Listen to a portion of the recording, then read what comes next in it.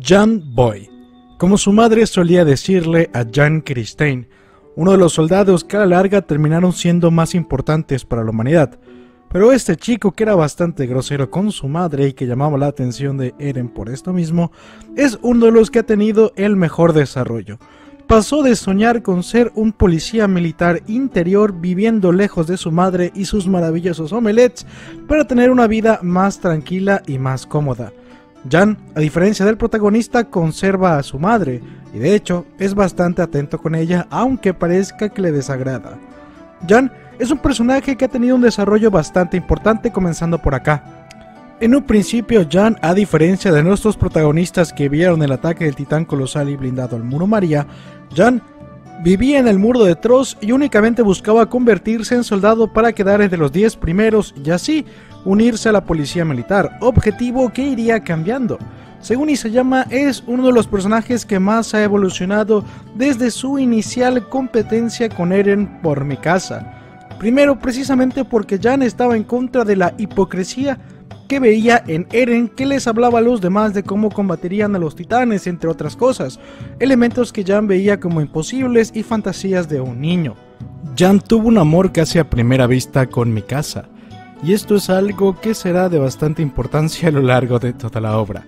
Él destacaba que se sentía atraído por sus rasgos únicos. Antes de conocer a Mikasa, Jan, aún viviendo con su madre, hacía bocetos de cómo sería su rostro, viendo precisamente esos rasgos extraños que llamaron su atención, siendo en parte una de las motivaciones de entrar al ejército y tener una vida mejor. Jan se sentía atraído de la larga cabellera que mi casa presumía. Fue lo primero que le dijo al verle. Sin embargo, Eren le contestó que debía cortarse ese cabello tomando el look que tiene actualmente. La competencia entre Jan y Eren no solo se basaría en qué tan largo tiene el cabello mi casa, sino en la misión especial que Kate Chadis tenía para ellos y que forma parte de las ovas extra de la serie. Acá, Jan y Eren estaban en un mismo grupo junto a Marco y Armin. Esta es una de las primeras ocasiones en que ponían frente a frente sus diferencias ideológicas y también competían casi como si su propia naturaleza lo gritase. Resaltar estos primeros años es importante porque ningún personaje tenía una idea de realmente el mundo en el que vivía. Jan por su parte quería vivir adentro, Sasha quería tener más tierras para cazar, Marco servir al rey, todos tenían un objetivo propio, tampoco es que existiera algo bueno o malo. Eren llamaba la atención por ser de Shigansina y ser el único que quería voluntariamente entrar a la Legión de Reconocimiento, privándose de todos los privilegios que tendría de quedar entre los primeros 10 lugares. Jan le odiaba porque mi casa estaba cerca de él y aparentemente ella terminaría también en la Legión de Reconocimiento y él en la Policía Militar. Por lo tanto, todos eran diferentes. Esta primera ova tiene como objetivo enseñarnos a un enemigo en común para ellos, el cual les haría superar todas sus diferencias. Un grupo de bandidos secuestrarían a Historia, obligando a que Eren enseñe su verdadera naturaleza.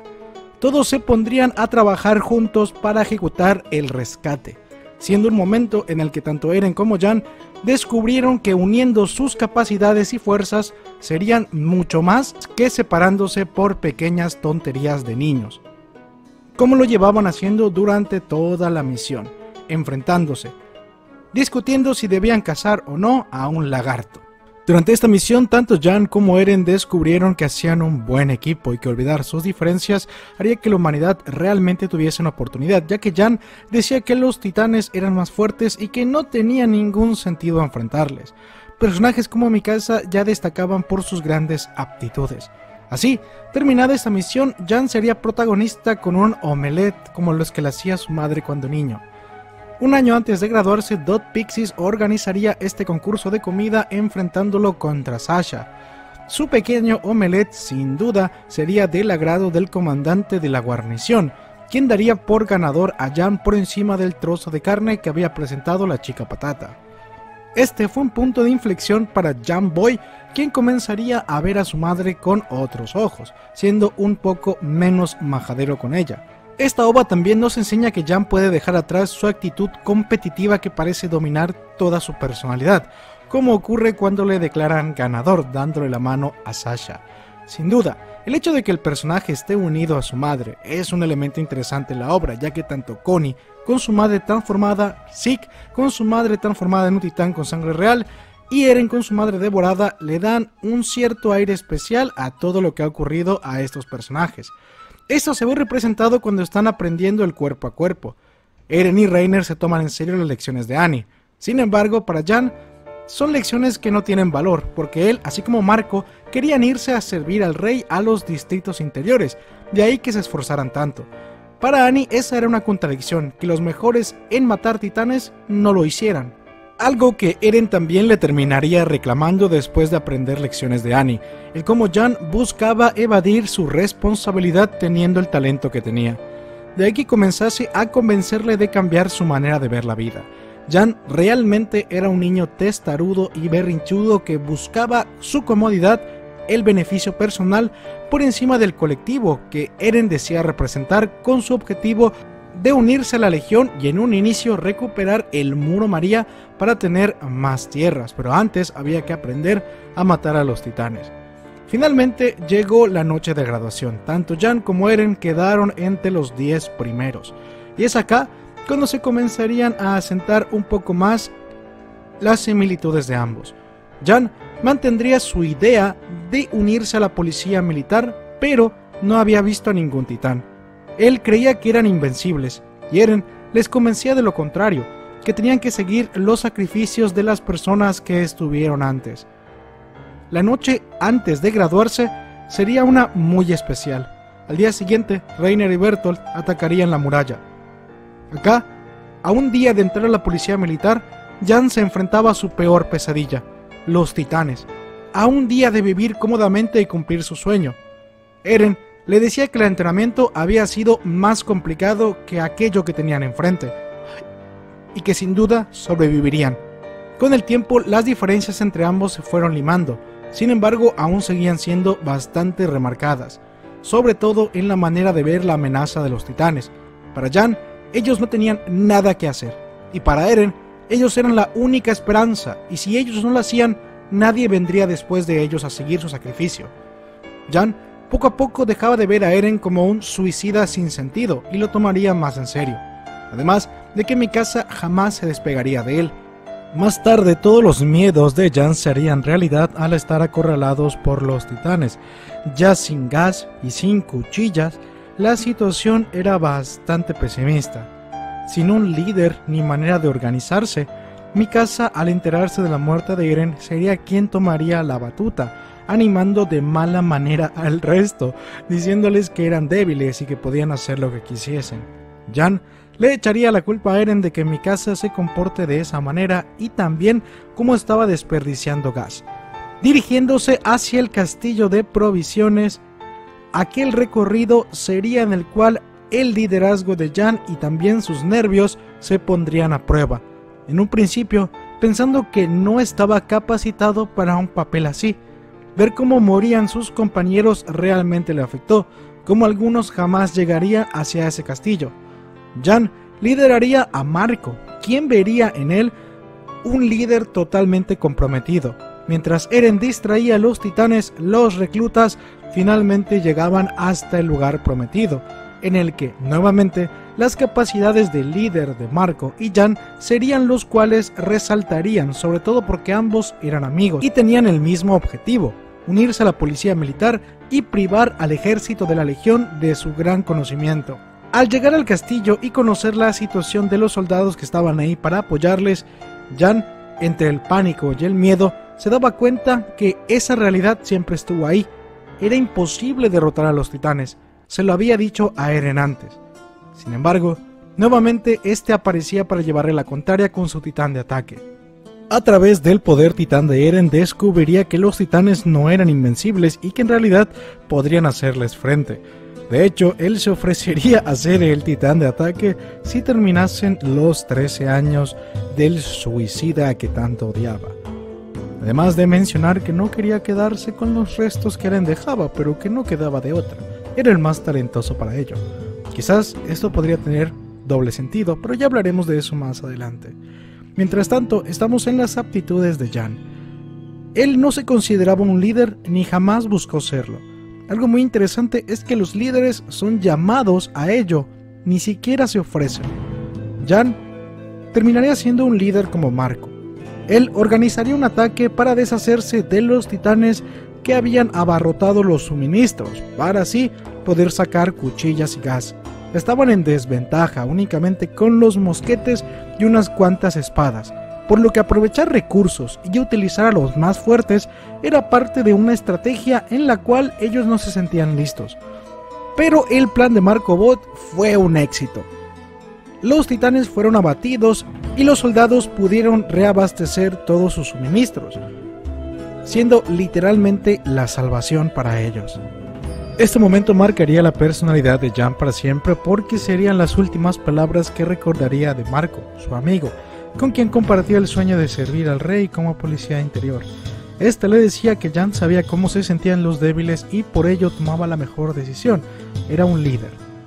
Después de salir del castillo se encontrarían con que Eren había salido de la nuca del titán que les estaba defendiendo. Los misterios de los titanes poco a poco comenzaban a abrirse para Jan, quien sería uno de esos personajes que vería cómo el mundo cambia frente a sus ojos.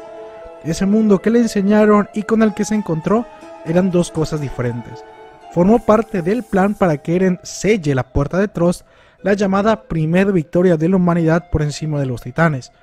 Jan no tuvo un papel fundamental como el de Eren, pero sí fue bastante valiente en la manera de confrontar sus dificultades cuando Eren estaba noqueado sin poder levantar la roca y mientras los titanes comenzaban a acumularse cerca de él. Y como todos aquellos que creían en Eren Jaeger, no abandonándolo, ya que muchos soldados intentaron abandonar la misión. Por lo tanto, el hecho de que se haya quedado, y no solo quedado, sino luchado hasta el final, requería mucho valor de alguien que todo lo que quería y por lo que se esforzaba era para huir de los titanes y vivir cómodamente. Jan tendría algo así como una epifanía, su equipo de maniobras quedaría averiado al intentar atacar a los titanes, volviéndose un blanco fácil. Todos sus compañeros lo defendieron de ser devorado, un destino que aparentemente no estaba reservado para Jan, pero sí para su gran amigo Marco Bot. Tristemente, esta muestra de compañerismo mientras Eren poco a poco regresaba en sí para levantar la roca de Trost sería el último recuerdo que tendría con Marco. Bertolt y Reiner, observando al titán de Eren levantando la roca, hablarían de cómo destruyeron el muro. Así como dijimos, el mundo que les presentaron y el que realmente estaba ahí eran dos cosas totalmente diferentes. Marco sabía que había algo de verdad en las palabras que acababan de decir, aunque Reiner insistía en que eran broma. Así como ya necesitaba un equipo de maniobras anteriormente, a Marco le quitaron el suyo. Intentando someterlo para que no hable y no diga nada de lo que escuchó, Annie sería la encargada de quitarle el equipo de maniobras a Marco Bot, uno de los 10 primeros y más talentosos. Sacrificándolo en nombre de su silencio y en pro de la misión, Annie cargaría con las pesadillas de ver cómo Marco era devorado una y otra vez. Así como Reiner, quien vería su mente fragmentada entre este momento y cuando Marcel Galliard falleció intentando salvarle. Después de la gran victoria en la que Eren selló la puerta de Trost, días después, Jan encontraría el cuerpo sin vida de Marco, masticado de la mitad por un titán y abandonado ahí. Sin poder creerlo, Jan se hacía una promesa de jamás decepcionar a esos huesos, a ese cadáver, y al prospecto de líder y soldado que su amigo había visto en él, no desperdiciándolo convirtiéndose en un policía militar que no hacía nada, sino siguiendo lo que su amigo había visto antes de morir. Ese líder y soldado que sabía cómo se sentían los débiles, aquellos que no terminaron entre los 10 primeros de la generación 104. Jan no superaría su miedo a los titanes. Sin embargo, su motivación no sería esa, ni acabar con todos ellos como Eren. Simplemente seguir el sacrificio de quien estaba antes que él, su gran amigo Marco, acercándose un poco más a Eren y descubriendo que no eran tan diferentes. En una fogata en la que se quemaban todos los cuerpos de las víctimas que había cobrado Trost, lo hacía oficial. No era un policía militar. Formaría parte de la Legión de Reconocimiento. Junto a ese suicida tonto. Jan junto a Reiner, Ymir, Sasha, Connie, Historia, Armin, Bertolt y Mikasa se unirían a la Legión de Reconocimiento junto a Eren que ya estaba ahí. La verdad, es que la tasa de aquellos que tomaron esa decisión era muy baja. y Jan no quería arrepentirse ni que su sacrificio fuese en vano. Ese sacrificio que tanto le costó, el hecho de dejar su vida como policía militar y comprometerse a algo más grande. Realmente cambiaría parte de su personalidad. Jan sería de esos soldados sin miedo que incluso le harían frente a titanes peligrosos y que eran clasificados como excéntricos, como lo era la titán hembra que ya había matado a muchísimos soldados antes. Jan estuvo a punto de ser aplastado por la titán hembra de no ser porque gritaron su nombre y ella le reconoció mostrando ser preciado para Annie de alguna manera. La existencia de los guerreros sin duda también puso de cabezas al mundo de Jan. El descubrir que Reiner y Bertolt en realidad eran los enemigos realmente le traumó. Él recordaba precisamente sus días como reclutas y cómo habían prometido ser amigos hasta ser unos ancianos y beber juntos, y cómo todo aquello por lo que habían pasado era mentira. Bertolt les mencionaba que realmente se hicieron amigos y camaradas, pero que el mundo les había puesto en contra, que no tenía nada realmente para odiarles, pero que su misión era mancharse de sangre. Jan comprendía perfectamente cómo podría desagradarles Eren, pero no entendía la magnitud del enemigo. El hecho de descubrir que entre todos aquellos de sus compañeros habían titanes cambiantes sería lo que movería el mundo de Jan tenía la verdad tan cerca, pero de haberse unido a la policía militar, jamás la hubiese visto. Justo cuando averiguó la identidad de Reiner y Bertolt, varios soldados de la policía militar fueron devorados por titanes ante su falta de experiencia, notando cómo Jan había cambiado.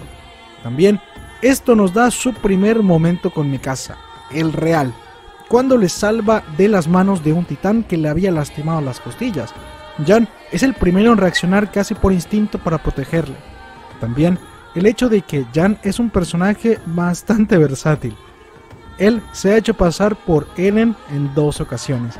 La primera, cuando lo sustituyeron únicamente para llevarlo en la carroza de la policía militar hacia el juicio para que Erwin declarase su fracaso en la misión de los árboles gigantes. La segunda vez es un tanto más importante. Siendo perseguidos por la corona, él se haría pasar por Eren y Armin por Krista Lenz, Historia, la reina. Armin le había dicho a Jan que lo único que se parecían era en la cara de psicópatas y que ambos parecían criminales con los ojos que tenían. Jan odiaba que lo pusieran en el lugar de Eren, algo que aparentemente será lo que marcará el final, o al menos entre los fans, acerca de si realmente mi casa tuvo un hijo con él. Jan apostó incluso todo su dinero a que Mikasa derrotaría a Annie en ese mítico enfrentamiento. El siguiente paso que daría Jan en su personalidad sería ahora como soldado. Acostumbrado a matar titanes y descubriendo que eran humanos Reiner y Bertolt, aquellos que perpetraron esa gran catástrofe, descubriría que el enemigo también se encontraba dentro de las murallas y siendo un humano como él. La policía militar de Kenny Ackerman marcaría un antes y un después, provocando que Armin tenga que ensuciarse las manos asesinando a otro humano, algo que Jan jamás había hecho ni se había planteado hasta el momento. Quienes intentaban secuestrar a Eren e Historia fueron abatidos por la Legión de Reconocimiento liderados por Levi, quien sabía perfectamente del enemigo que tenían enfrente. Era como un espejo según él, ya que Kenny Ackerman era como tener un Levi en el bando contrario. De esa manera lo describía. También ellos con sus armas del equipo antipersona hechos específicamente para matar humanos se convertían en una nueva amenaza. Jan titubeaba al abatir a la secuestradora de Eren, pensando que ella incluso era más humana que él.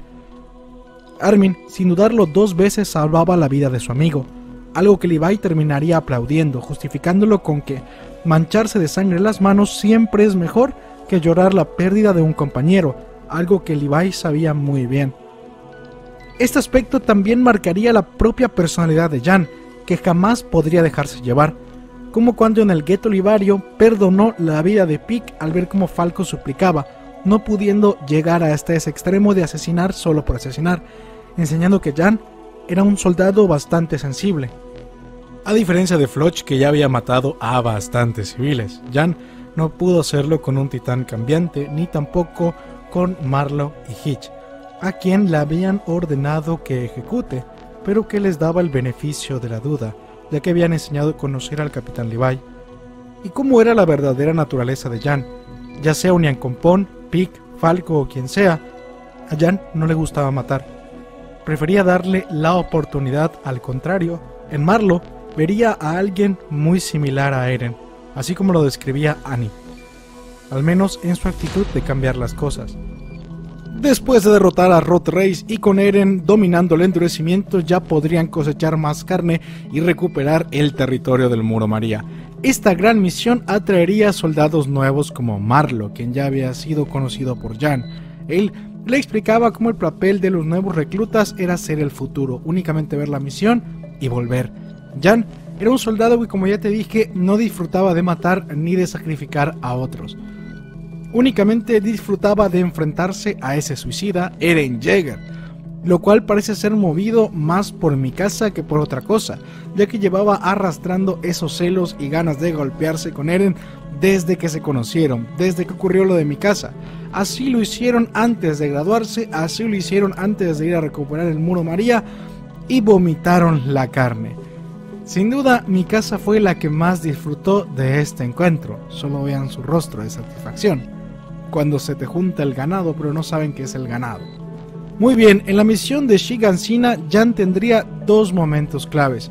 Enfrentando al titán colosal de Bertolt Huber, ya que no sabían cómo hacerle frente debido a su habilidad de expulsar calor, y Armin estaba algo abatido en pensar un plan para Bertolt y otro para Reina. Jan sería una pieza fundamental para hacerle frente a los dos titanes, a pesar de que ninguno de sus planes fue la gran cosa, sí pudieron ganar el suficiente tiempo. Se enfrentó al colosal cuerpo a cuerpo siendo quemado por él y también se enfrentó al titán acorazado. De hecho fue herido en batalla por ambos titanes. Jan es verdaderamente un héroe de guerra y fue curado por la waifu, Mikasa Ackerman. Hanji pensaba en sacrificar a Reiner, pero Jan le da el beneficio de la duda como ya lo habíamos mencionado antes, esto ha sido descrito como una gran debilidad de su parte. Jan trataba de convencer a Hanji que toda la información que tenía Reiner era muy valiosa y que no había caso en matarle. Sin embargo, fue rescatado por Sieg Jäger. El cara de caballo arrastraría este error diciendo que fue su culpa. Y finalmente llegamos hasta el océano. Jan es de esos personajes que disfrutaron totalmente conocer el agua salada, ya que jamás la habían sentido. La sal era consumida por los mercaderes para ponerse en la comida. Como ya te dije, Jan era un personaje que tenía un conflicto diferente al de Eren. Su mundo se hizo más grande. De la nada comenzaron a llegar los navíos de Marley con los voluntarios. El enemigo que estaba al otro lado del océano que describía Eren poco a poco comenzaba a acercarse, así como los avances en la isla. Pony y los voluntarios con Yelena trajeron el puerto, unos planos para crear lo que sería el contacto de la isla con el mundo exterior. También, Nicolo sería un personaje que comenzaría a jugar un papel importante. La comida marina sería algo desconocido para ellos, así como el agua salada, el comer animales como cangrejos o langostas definitivamente cambiaron el paladar de aquellos eldianos de la isla, sobre todo el de Sasha, Nicolo y Sasha desarrollaron un vínculo similar al de los padres de Reiner, Eldiano y Marleyana. También con el paso de los años, Jan formaría parte de más construcciones y desarrollo de la isla, como las vías del primer tren.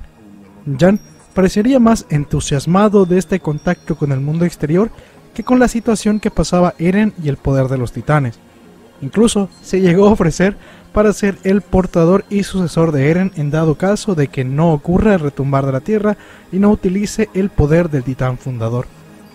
Eren, con el pasar de los años, se iba presionando cada vez más, presión que pasaba inadvertida a los ojos de sus compañeros, quienes pensaban que se encontraba en la misma situación que ellos. Pero el siguiente gran paso no sería con los pequeños avances de la isla o el mundo exterior, sino al momento de que Eren les abandonó.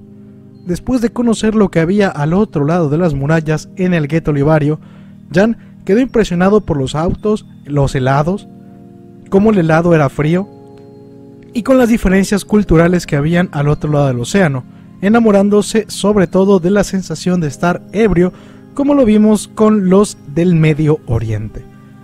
Jan sin duda era un personaje un poco más relajado, como ya te dije, él y Connie pensaban que siendo mayores beberían hasta siendo viejos.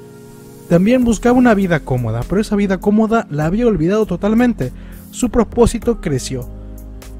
Siguiendo la carta de Eren, fueron a buscarle al gueto olivario. Jan durante el enfrentamiento del gueto olivario se terminó enfrentando al titán cuadrúpedo. Junto a Sasha enseñaron la madurez que aprendieron de Levi al enfrentar a esos enemigos. Ni Jan ni Sasha se tocaron el corazón para asesinar a esos otros humanos a los cuales se enfrentaban. Sin embargo, toda esta actitud les terminaría pasando factura con Gaby y Falco. Los momentos previos a que Gaby y Falco se infiltren al dirigible son verdaderamente dramáticos.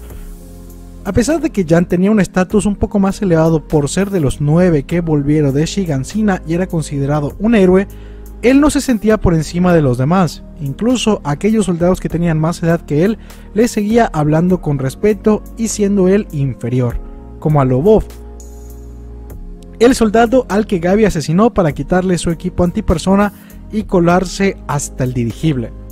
Los momentos antes de que Gaby y Falco entren al dirigible con Connie abrazándolos y mencionando que no les importa el resto mientras ellos estén juntos, o sea que Connie sentía un lazo especial por ellos.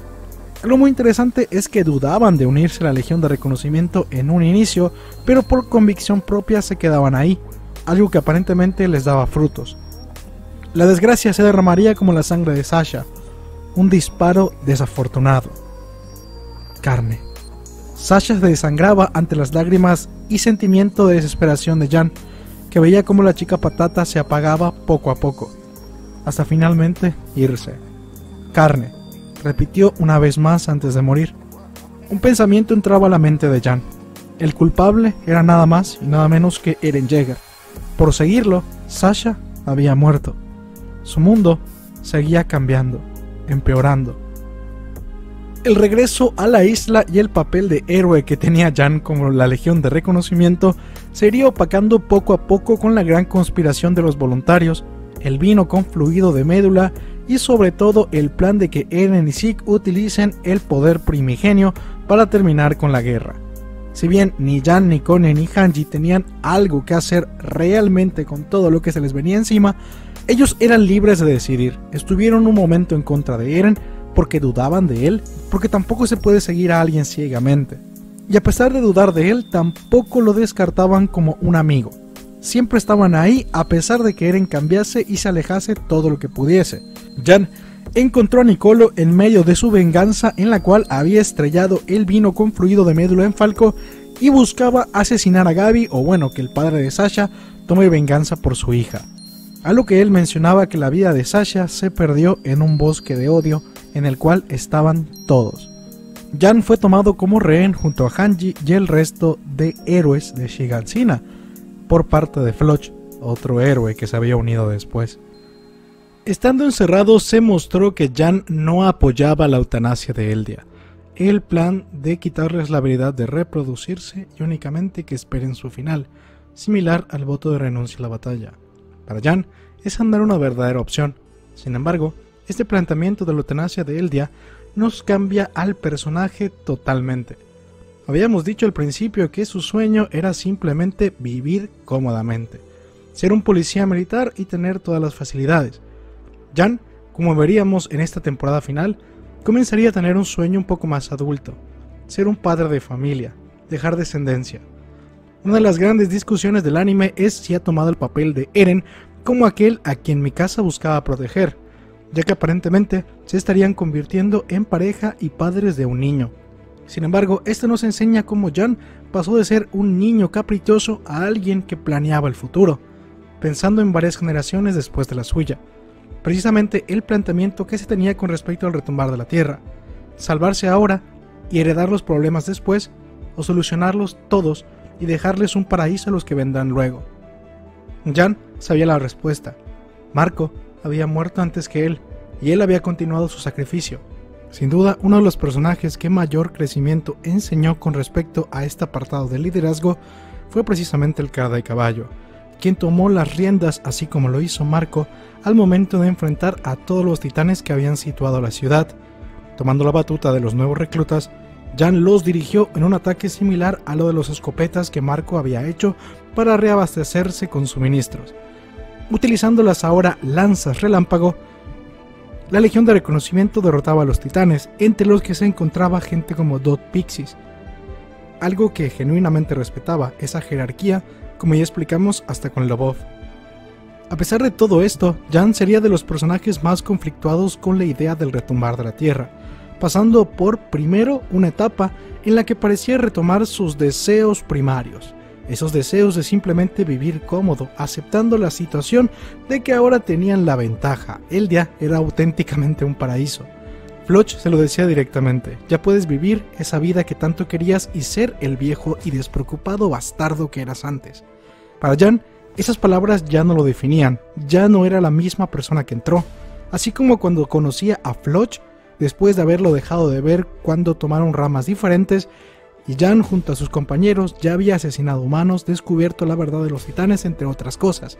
Sin duda, Jan no era el mismo que se presentó con Kate Shadis, no era el mismo que veía Floch. Jan era el que había visto Marco antes de morir, un líder. Alguien que sabía cómo se sentían los débiles y por eso tomaba la mejor decisión, y la decisión de Floch definitivamente no era la mejor. Así como lo hizo con Marlo y Hitch, le daba el beneficio de la duda a Unian Compón. Fingiendo que era devorado por Pig, escapaban para unirse en un último grupo. Este último grupo primero tendría que limar todas sus diferencias, comenzando precisamente por la muerte de Marco. Yelena la sacaría a la luz. Reiner daría a conocer los últimos momentos de Marco Bot. La reacción del caballo no fue para menos, golpeando a Reiner hasta romperle la cara. Estaba re caliente, imagínate, le mataron al amigo. Y así como Sasha descubrió sus últimas palabras. Hablemos. Ni siquiera tuvimos la oportunidad de hablarlo. Jan enseñó no ser una persona rencorosa, como ya dijimos, ni siquiera podía matar a otro humano que le estaba amenazando. Hanji se aprovecharía de su humanidad para volver a convocarlo como un miembro de la Legión de Reconocimiento, alejándose un poco de los movimientos que Floch estaba haciendo. Jan sería persuadido para seguir su corazón y también ese instinto que le hizo unirse en una primera instancia, volviendo a recordar a su amigo y también viendo a todos los soldados caídos. Nuevamente la respuesta estaba ahí. No quería que esos huesos estén decepcionados de él, y no lo estarían. Jan se uniría al grupo de soldados que intentarían detener al retumbar de la tierra, olvidando sus diferencias, hasta con Teo Magat, el cual sería el equivalente a Kate Chadis, su instructor, con quien tenían bastantes diferencias acerca de qué fue primero, el huevo o la gallina, el de Marley en atacar.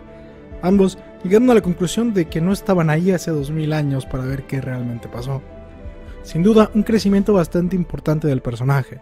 Y con esto pasaremos al apartado única y exclusivamente con spoilers.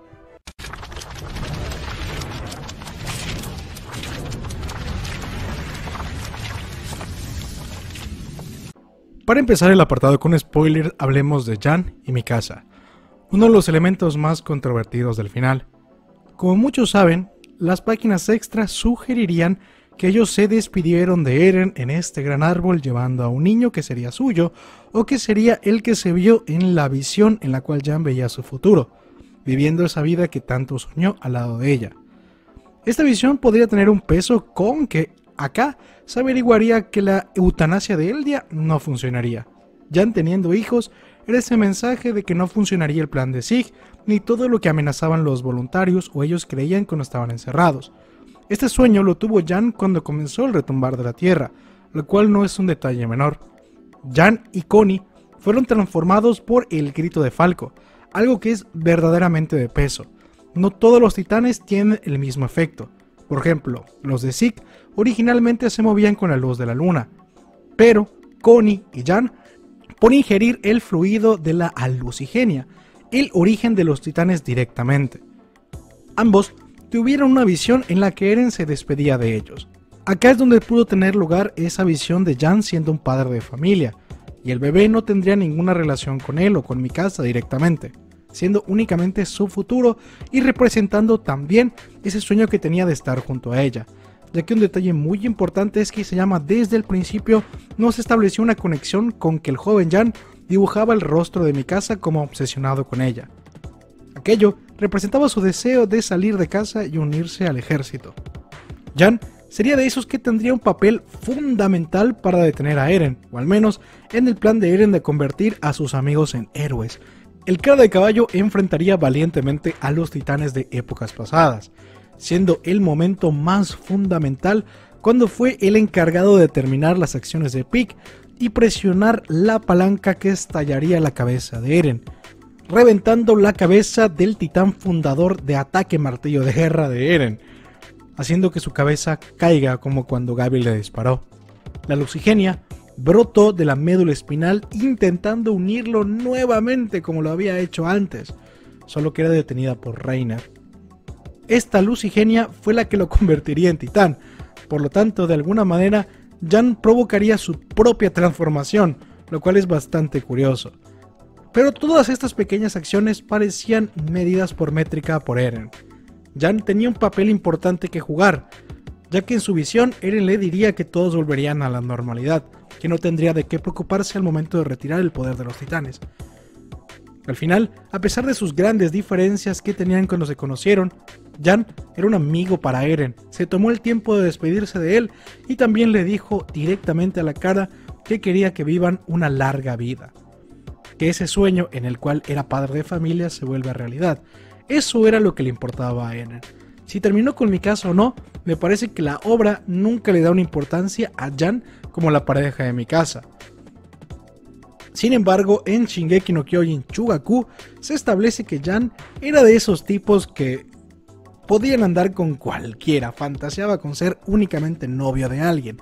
No es que esté enamorado específicamente de mi casa, pero mi casa le encantaba por esos rasgos asiáticos que jamás había visto y que él dibujaba de niño. Digamos que sentía una atracción cósmica especial hacia ella, pero Jan, como se pudo ver en Chugaku, realmente era un Casanova, un Don Juan. También un elemento muy hermoso que conecta a Jan y Connie es el de su madre. Está claro que Jan Boy y su apodo fue lo que definía al personaje al principio como un chiste. Sin embargo, la madre de Connie verdaderamente representaba un peso. Y el hecho de que él haya mejorado su relación con su madre y de alguna manera haya madurado con respecto a sus objetivos de querer únicamente vivir cómodamente, a realmente plantearse ser un padre de familia y dejar un futuro evolucionando las ideas de Marco, ya que no podía ser un soldado para siempre. Además de que era un soldado que no buscaba matar porque sí, Jan verdaderamente tenía ese lado humano de respetar la vida por lo que era. Menos la de las iguanas, ya que según Sasha sabían apoyo y eran muy ricas. Jan únicamente estaba a favor de matar y comerse animales. Pues bien, acá llegamos al final del video y también el análisis del cara de caballo el cual en las hojas extras se pudo ver que llegó a ser un anciano. Jamás se deja en claro si es el compañero de mi casa o si terminaron juntos, pero está claro que de depender de él esto hubiese ocurrido. Déjame en la caja de comentarios qué crees hasta hoy día. ¿Es hijo de Jan? ¿Es del Espíritu Santo Paloma de Eren? ¿O qué fue? Me gustaría leerlo abajo.